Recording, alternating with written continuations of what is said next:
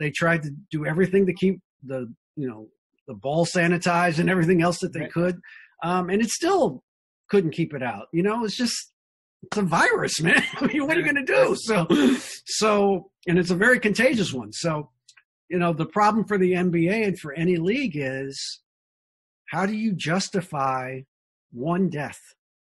How do you do that? Like, Right. Yep. I mean, I've been what I've been saying to people, Paul, and you're familiar, very familiar, I'm sure, with the with the John Kerry quote. How do you ask a man to be the last person to die for a mistake? Right. right?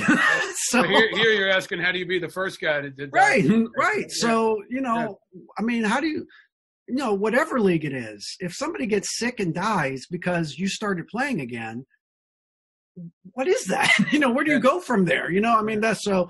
So that's the problem I think for any league.